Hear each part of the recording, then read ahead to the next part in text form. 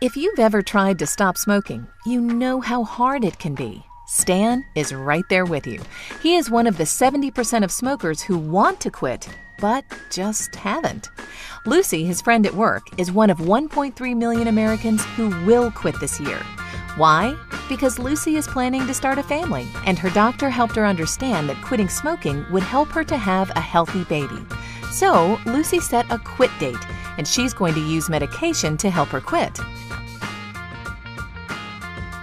During their usual smoke break, Lucy asks Stan if he's ever tried to quit, and more importantly, why.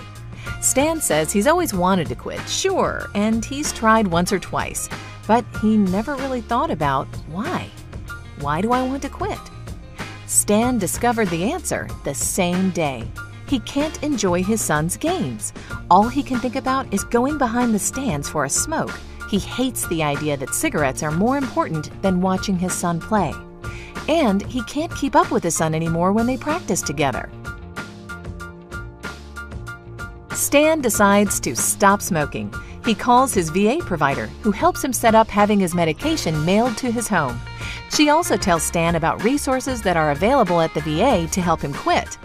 At work, Stan is excited to tell Lucy. Now, instead of smoke breaks, together they take gum breaks. VHA Healthcare is defining excellence in the 21st century.